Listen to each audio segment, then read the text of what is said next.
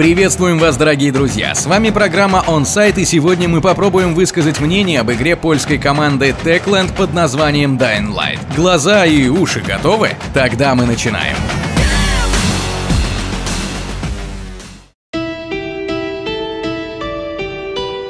Знаете, уважаемые друзья, наш постоянный автор, Роман Исхаков, изначально не хотел высказывать свое мнение о проекте. Но после того, сколько фекальных выбросов или наоборот бахвальства было по игре, он все-таки решил написать об игре все, что думает.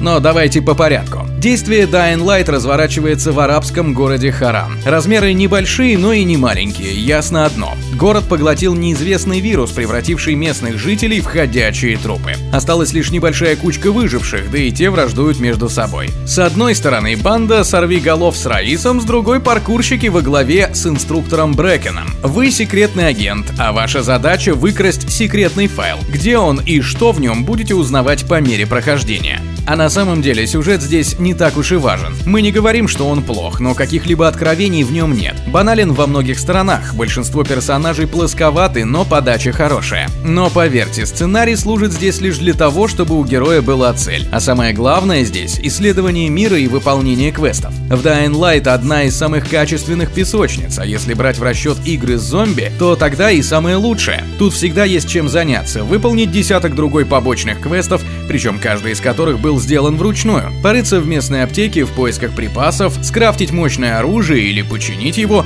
попросту побродить по окрестностям. Игра очень красивая и живописная. Techland, конечно, очень много взяли с Dead Island, но Dying Light по механике совершенно другая. На вершине всего здесь паркур, много паркура. Причем сделанный на славу, по прыткости уступает разве что Mirror's Edge. Кайл Крейн лихо перепрыгивает с одного здания на другое, и самое приятное, что залезть можно практически на что угодно. Это выгодно отличает Dying Light от многих подобных ему игр. Свобода – главный девиз этой игры. Вы не привязаны ни к какому квесту. Хотите поисследовать местность, пожалуйста. А исследовать реально интересно и вдвойне круто, если натыкаемся на всякие прикольные пасхалки или необычные ситуации. Особенно ночью. А темное время суток – второе достоинство этой игры. Медленные мертвецы становятся пободрее. К ним добавляются спринтеры да прыгуны. Последние представляют для игрока чрезвычайную опасность, особенно в первой половине игры. Ночь смотрится действительно ночью, темно так, что дальше метра ничего не видно. Мы становимся не охотником, а жалкой жертвой для всей этой мертвечины. Чтобы выглядеть не таким беззащитным, у нас есть система улучшений навыков – выживание, ловкость и сила. Красиво паркурим, быстрее прокачивается скилл ловкости. Умело дубасим мертвяков – сила. Выполняем квесты и исследуем мир – выживание. Полученные очки навыков мы тратим на всякие способности, будь то какие-нибудь улучшения для оружия или новые приемы паркурщиков. Они нужны, они важны и они всячески разбавляют геймплей. Плюс ко всему этому у нас кооперативный режим и режим «Я зомби». В последнем нам предоставляется возможность поиграть за прыгуна, который будет охранять инкубатор мертвецов от людей. Весьма интересная забава, особенно когда команда сапиенсов крутая.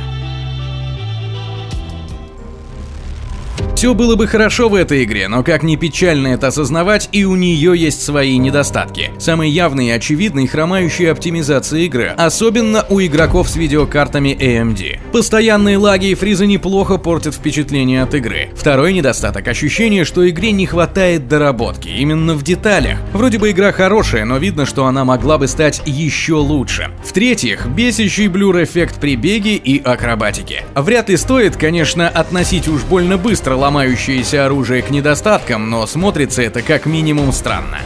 Но тем не менее, Dying Light это безусловно приятная, затягивающая игра. Тут есть то, чего не хватает многим играм – свободы, настоящей свободы. Здесь приятная, претендующая на Next Gen графика. Для романа автора этой статьи прохождение составило больше 30 часов. 30 очень затягивающих часов. Если вы любите песочницы, открытые миры и свободу действий, Dying Light определенно придется по душе. Поэтому проект получает 8,5 зомби из 10.